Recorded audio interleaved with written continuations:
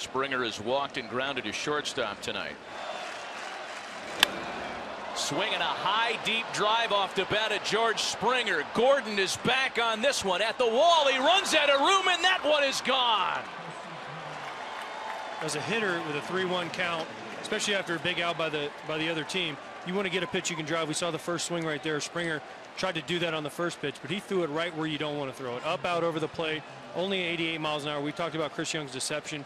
He can't get away with that, especially when he's behind in the count. Boy, only Hunter Pence hit more home runs in his first two seasons in Houston. That's really something to stick your chest out over when you consider some of the big home run hitters that have gone through the Space City over the years.